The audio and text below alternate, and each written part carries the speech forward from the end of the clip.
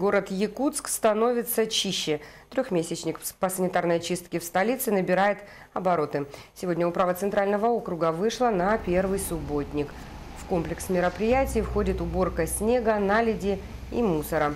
Всего в Центральном округе необходимо убрать 12 тысяч кубов снега и 700 кубов ледяного покрова.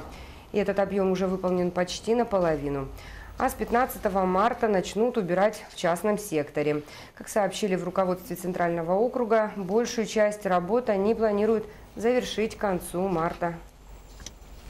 Своим личным примером мы показываем, что нужно не только надеяться на городские службы, но и прилегающие территории какие-то дополнительные объекты убирать самостоятельно. Может быть, еще немножко прохладно, но мы решили начать именно сегодня, чтобы показать другим, что ну, нужно стартовать, нужно начинать уже это делать.